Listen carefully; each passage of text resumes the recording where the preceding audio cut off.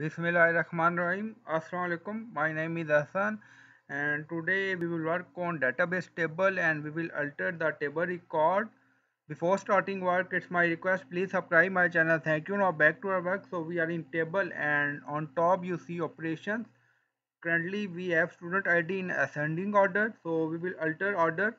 So go to operations, click on it and then you see alter table order by and you can select column field here.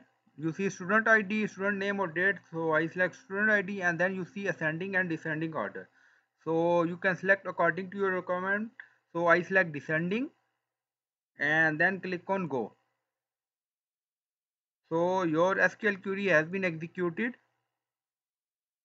And now go to table again. And now you see student id starts from descending order. So in this way you can alter table order. I hope you like this video. Please like comment share subscribe. Thank you for watching